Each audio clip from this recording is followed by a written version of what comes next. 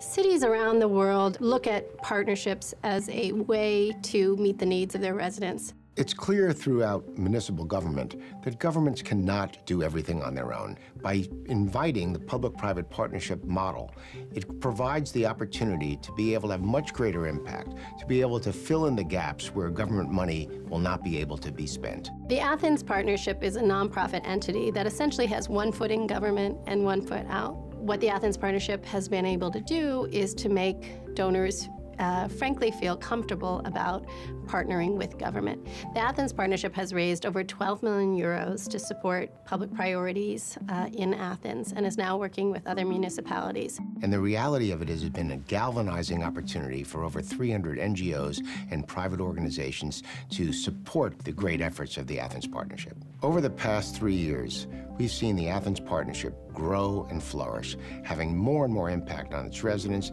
creating programs that will have a lasting effect on the city of Athens for many decades to come.